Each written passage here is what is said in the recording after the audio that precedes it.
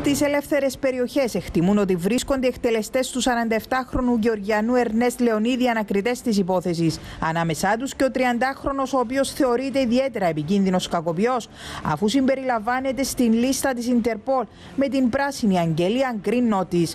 Η αστυνομία προχώρησε το μεσημέρι στη δημοσιοποίηση της φωτογραφίας του σε μια προσπάθεια να τον εντοπίσουν. Ο καταζητούμενος με τα χίλια πρόσωπα ονομάζεται Πυρούς Καβιασβίλη ή Πυρούς Μουσεάν και κατάγεται από τη Γεωργία και δηλώνει 30 ετών. Ωστόσο φέρεται να χρησιμοποιεί επίσης το ονοματεπώνυμο Χεόρχη Κράφσκουφ να είναι ουκρανικής καταγωγής και να έχει ηλικία 32 ετών.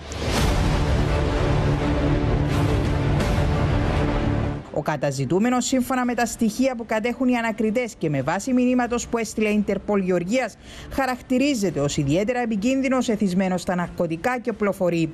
Στο παρελθόν καταδικάστηκε για υποθέσεις που αφορούσαν ναρκωτικά, οπλισμό και εκβιασμούς, ενώ πληροφορίες τον θέλουν μέλος οργάνωσης της ρωσικής μαφίας. Οι ανακριτές της υπόθεσης του φόνου εκπρομελέτης του 47χρονου Γεωργιανού εκτιμούν ότι οι τρεις δράστες που καταγράφονται στο κλειστό κύκλωμα δεν έχουν εγκαταλείψει την Κύπρο ενώ οι έρευνες συνεχίζονται με εντατικούς ρυθμούς ώστε να εξασφαλιστούν και τα στοιχεία των άλλων δύο που διαφεύγουν τρέχοντας από τη σκηνή του φόνου πίσω από το εστιατόριο στη Γερμασόγια.